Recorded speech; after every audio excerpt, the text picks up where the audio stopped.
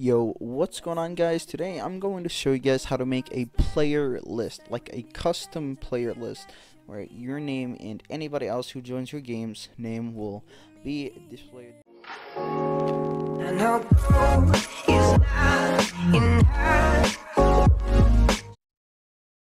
Start off, um, I'm gonna I'm gonna put this in here and then show you guys exactly how I made it. So first I inserted a screen GUI and then you know I named it player GUI, or not player GUI, sorry, player list. There you go. Then what you want to insert is a frame. Now in this frame there's a thing called a property under data called anchor point. You want to set the first value to 1. Then go all the way down to position, make the x value, the scale value, make that 1. And then you can resize that as I as you want. You know, you can put it anywhere you want. I'm also gonna recolor and make it transparent. There you go. Then in here I'm gonna add a scrolling frame. So now for this I'm gonna delete all that. Put one comma zero comma point eight comma zero. And then take this uh, all the way to the bottom. There you go.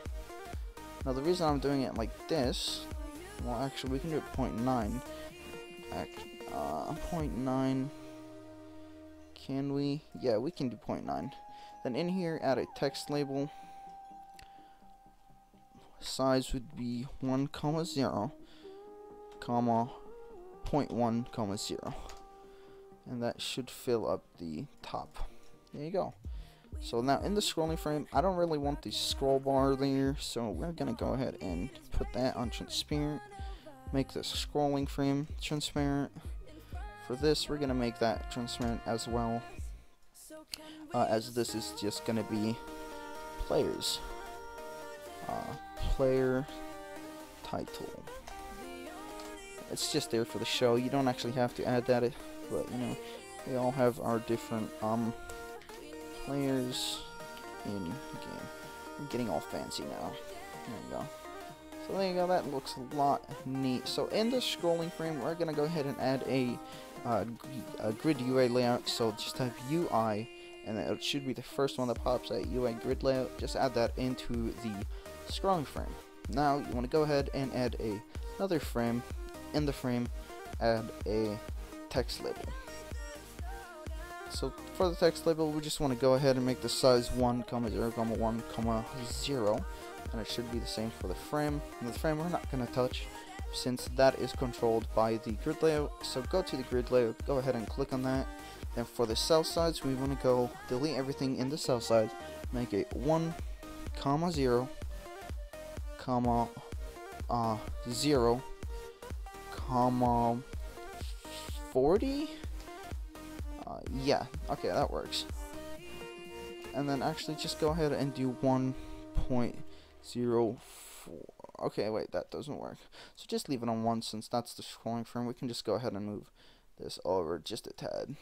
You don't have to but I prefer that. So in the frame uh, we're gonna go ahead and call this uh, template uh, text label put this to a name then uh, go ahead and make this your own. So we're gonna go ahead make this transparent. We don't want that.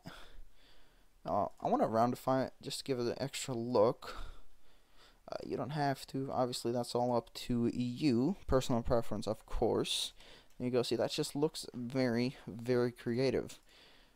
Um, therefore I'm going to actually make this or roundify this as well. There, there you go. See, it looks very cool. I'm a cool guy now. So in the play, in the scrolling frame template name, all right. So I don't like that font, so let's go with like a cartoon font. There you go, and text scaled, perfect. Alright, so take the template and place that in replicated storage. Uh, now we don't want to get confused, so I'm going to delete the old template and add the new one into there. So now we're done with all the setting up. So now what we want to do is go ahead in the player list and add a local script. Alright. So first of all what we're going to do is create the function that's going to clone the template into the player's game. So first call local function uh, function and then the two little uh, brackets and in here call this whatever you want. I'm just going to call it temp which is short for template or temperature, whatever you want. Uh, then what you want to do is um, just go space down and it should automatically add the end if not just add it yourself alright so now you want to call this local frame is equal to script oh, oh actually no game dot uh, replicate storage dot template then clone frame dot parent is equal to game uh, actually script dot parent dot frame that scrolling no. Scrolling frame dot oh scrolling frame that's where we want it. Then frame dot name is equal to plr dot name now also make sure in these brackets over here add plr which is short for player or you can just put uh, player which is defining the local player player dot name uh, then what you want to do is go ahead frame dot name. So in frame there's this folder called name. Uh, and then we want to get the text value of this so we can actually see the player's name. Frame dot name dot text is equal to player dot name, and then frame dot visible is equal to true. So that's pretty much it for this. Uh, so also make sure the frame is uh, to uh, not visible, just in case of a few things. I don't know. What did I just make invisible? I made something invisible. Ew. Okay, that's invisible. That shouldn't be invisible. Okay. Cool, there you go.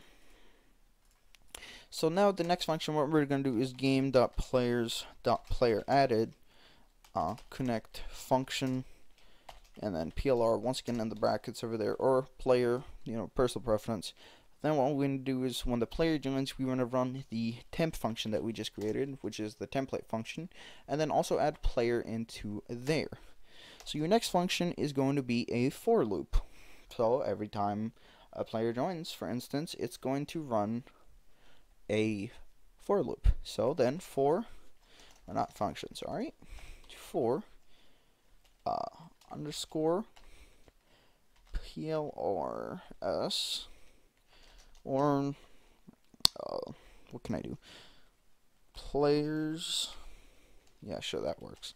In pairs, then you want to go game dot players, uh, game game dot players get children do um then run the function again temp and then just players then what you want to do is add the last function which is when the game player removes game that players that player removing connect function two brackets inside the brackets once again to find the player and then uh, bracket down.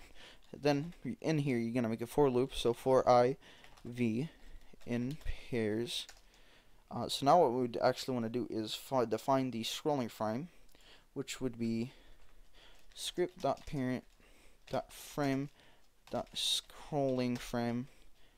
get children so we want to get all the children in the frame and this is also going to get the players that are in our game dot players uh, or the player that is leaving. So we want to get uh, see if there is a player, the player is leaving. We want to see if the player that is leaving is on the leaderboard. Uh, so to do that, what we're going to do is if v, so this is going to get um, a value dot name and uh, plr dot name. So now it's going to see if it finds the player name in here as well as in game dot players. Then it's going to then v colon remove. And then that should remove it. What am I missing oh. Do and then and perfect.